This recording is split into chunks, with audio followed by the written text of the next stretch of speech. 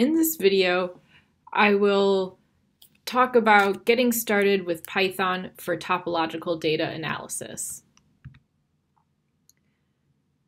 I choose to talk about Python for TDA because Python has powerful TDA libraries, such as Ripser and Giotto TDA, which can be used to compute things like persistence diagrams.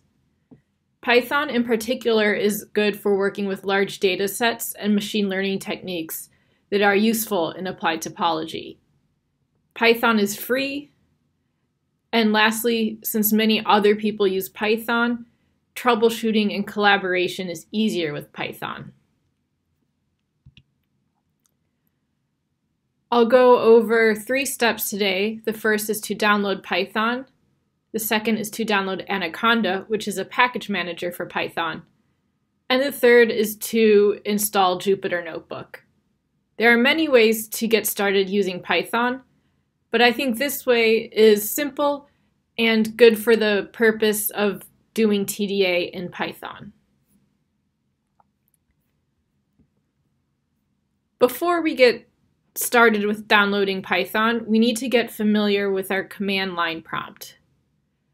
On Macs, you can find this in your Applications folder, Utilities, and Terminal. On Windows, if you go to the start bar and type CMD, it's a program called Command Prompt. We're going to type Python 3 dash dash version.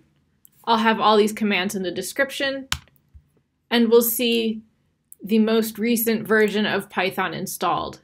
If you do not have Python 3 installed, go to the Python website there's a link in the description below, and select Download Python.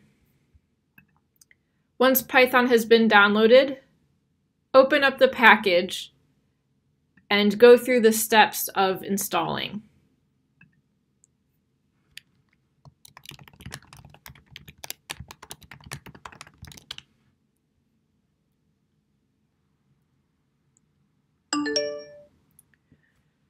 Once Python has been installed, we can close the window.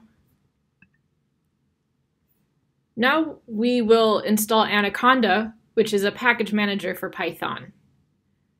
Anaconda is nice because it contains over 1,500 packages, many of which are applicable to TDA.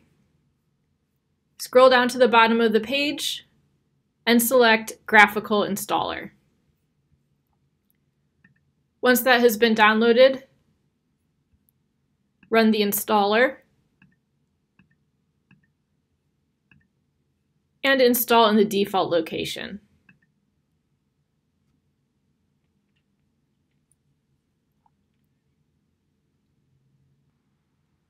Once Anaconda has been installed, we close the window and go back to our terminal. The last thing we're going to do today is install Jupyter Notebook. This is an editor where you type your Python code that you want to execute. To install Jupyter Notebook, we enter this command in our terminal window.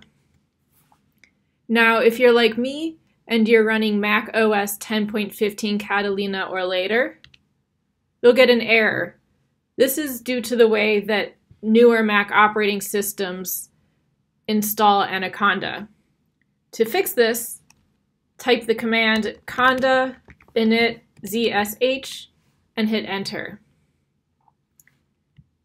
Then open a new window, paste the Jupyter Notebook install command again, and we'll see it'll start running.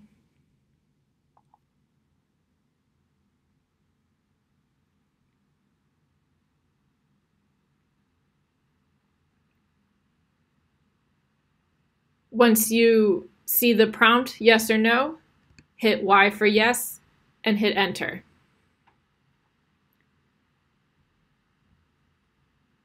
Now Jupyter Notebook should be successfully installed.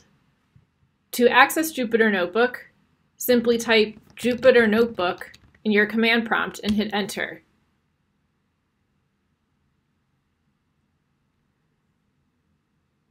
A window in your internet browser will open and you'll see your system's files displayed here.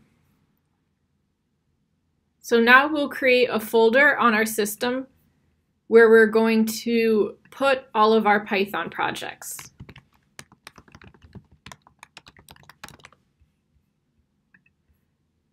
Then we'll navigate there using the browser and we see our folder is in desktop right where we expected it to be.